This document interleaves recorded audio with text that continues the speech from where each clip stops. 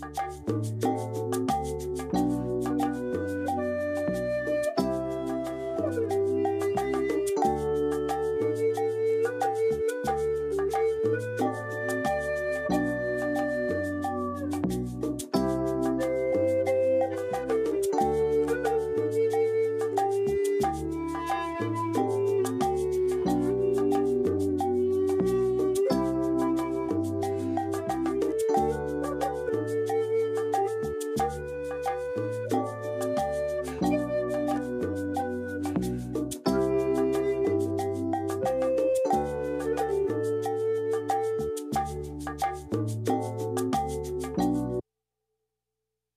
Okay, welcome back everybody. This is a play along video, play along music track with the flute choir cards. Let's break it down really quick. I'll show you what's going on over here. We're using three cards, the three, four, and five numbered cards. And this is for your E flute, E minor Native American style flute. In this case, the chords are B minor, C major, and D major. And that's it. I'm going to leave you, leave you to play along. You can follow along. I'll give you a starting guide, and then I will join you in a few minutes, and we'll do some back and forth. All right, enjoy. Here we go.